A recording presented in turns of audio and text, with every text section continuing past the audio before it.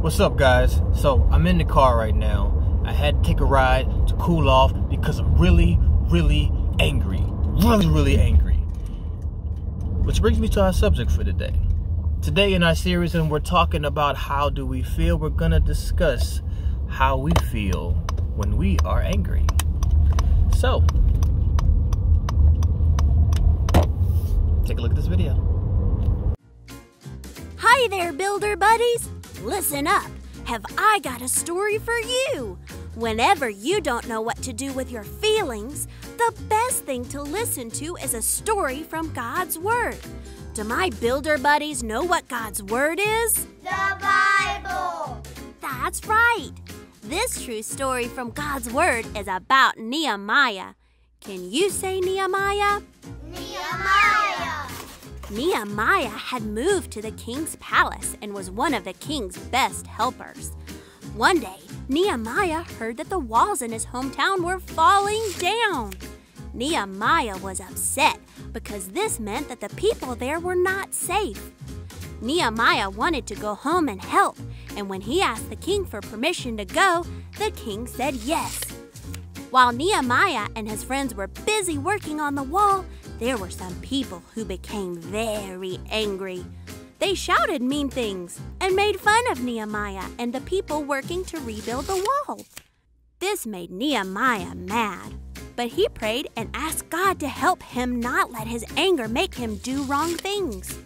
God heard Nehemiah's prayer and he helped him do what was right. God even helped Nehemiah and his friends rebuild the wall in record time. When you are feeling mad, God wants to help you too. Thanks for listening. Now that's crazy. We can actually be angry, but not let the anger control us. Let's dig a little bit deeper on this one. Hey, everybody, listen up. Here's what God has to say. Aw, yeah. What you got for us today? Well, have you ever been so angry with someone that you wanted to get revenge? Oh, yeah. Like when my skateboard got stolen last year.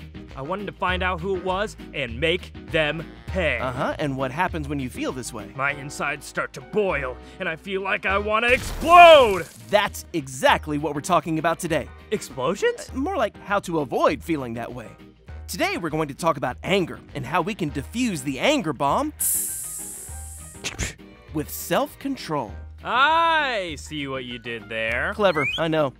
Anyways, there's a book in the Bible called Nehemiah, and it's all about a guy named Nehemiah. So, what's Nehemiah got to be angry about? He's got a whole book named after him. He actually had a lot of reasons why he could have been angry. You see, Nehemiah had gotten some really bad news. The wall in his hometown of Jerusalem had been torn down, and the gates were burned with fire. This meant that all of their enemies were able to sneak in and take whatever they wanted. Okay, that's something to be angry about for sure. Nehemiah prayed to God and decided to rush back home to Jerusalem to help rebuild the wall. He knew he couldn't do it alone, so he rallied everyone in the town to come help. Can we rebuild it? Yes, we can! Here's the problem there were lots of mean people who did not want to see the wall go back up. One of them was named Sanballat. Wait, there was a guy named Sandollar? Uh, no, Sanballat. Oh, gotcha, Sandcastle. No, Sanballat. Uh, anyways, Sanballat had all sorts of mean things to say to Nehemiah. Oh, and I bet Nehemiah had some mean things to say right back to him. Oh, yeah? Well. Actually, Nehemiah didn't say anything mean back to him. He prayed to God and kept working. Sanballat did not like this and got more people to make fun of everyone who was working on the wall. Sanballat and his gang even threatened to kill the workers. I bet that made Nehemiah turn so green. Oh, smash! Not quite. Instead of fighting back, he asked God to deal with the people who were making him angry. God helped Nehemiah have self control. And even though he was bullied and had lots of reasons to be angry or get revenge, he stayed focused on God's help and rebuilt the wall in record time. Wait a second. Nehemiah found out the wall was torn down, he was made fun of, his life was even threatened, and even though he may have been angry, he was able to stay calm and have self control? Yep, that's exactly right. You see, we'll all experience anger, but it's what we do when we are angry that can help or hurt the situation. So, when I don't get what I want, or if someone makes fun of me, I might get angry, but it's how I respond that makes a huge difference. That's right. Or if someone is angry with me, I don't have to be angry back at them. You got it. When we feel anger creeping in, God will give us self control. As always, you guys are amazing. I know. I feel better now. I hope you feel better now. As always, man, be sure to join us next week as we dig more into the How I Feel series. Till then, follow us on Instagram and TikTok at wildfyre underscore FSC. See y'all later.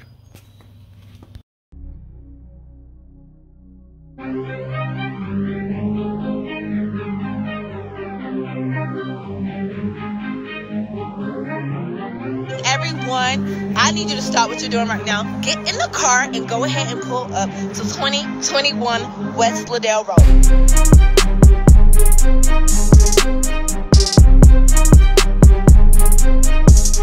Giving away free food. Volunteering as a family. are lined up around the corner, y'all.